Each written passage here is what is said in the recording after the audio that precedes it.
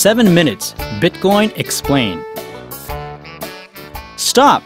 Forget about confusing words like Bitcoin, blockchain, blah blah blah. Let's first look at the super simplified history of money. Long ago, there was no money.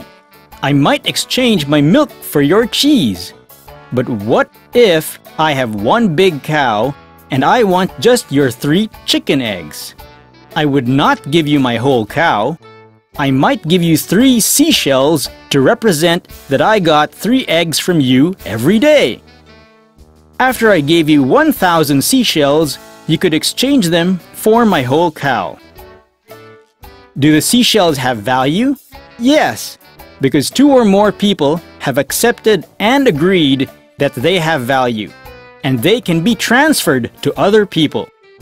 When more and more people accept and agree to use these seashells, the more valuable they become. One problem there's an unlimited supply of seashells and you could easily cheat by getting more at the beach.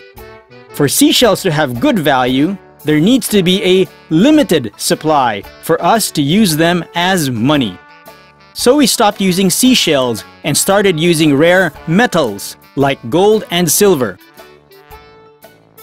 Gold has value because it has a limited supply and some people say that all the gold stored in the world can fit into one big swimming pool.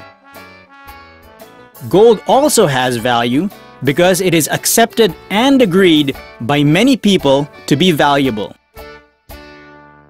A common belief is that gold has high value because it conducts electricity and is used for making products like phones. That's part of the reason but gold was valuable long before electricity, computers, and phones. Silver and oil have much more uses than gold, so why is one ounce of silver or oil valued less than one ounce of gold? One of the main reasons is that gold supply is more limited than oil and silver. So after using gold and silver as money, Kingdoms and empires used gold and silver coins with images of the king or emperor. But still, the value came from the gold and silver, not the government. In the past, the US dollar represented an amount of gold that you could withdraw from a bank.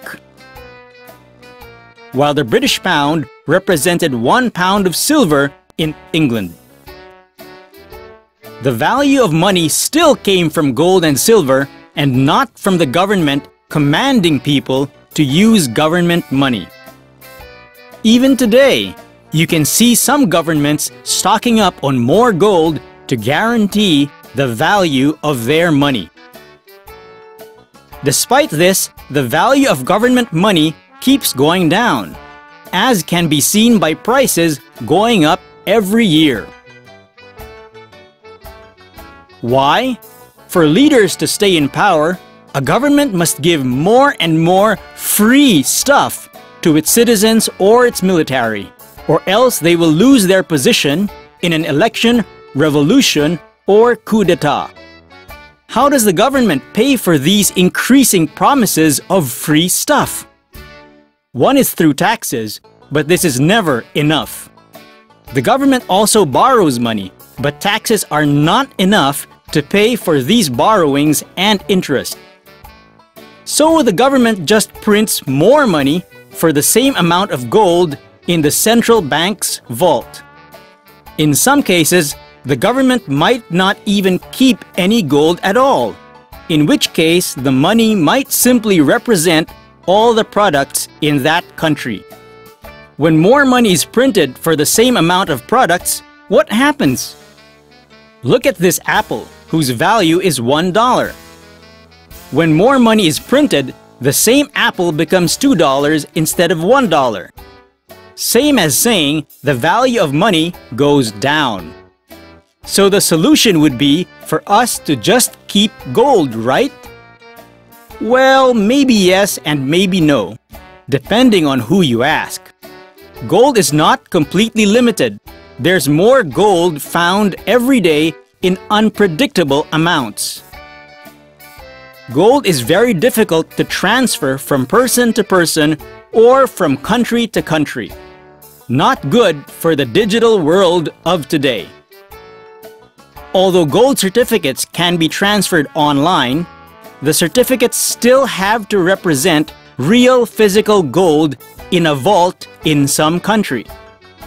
A government can get gold from all the vaults located on its land and replace it with paper currency, even if the gold owner does not agree, just like the American government did in 1933. A possible solution might be Bitcoin.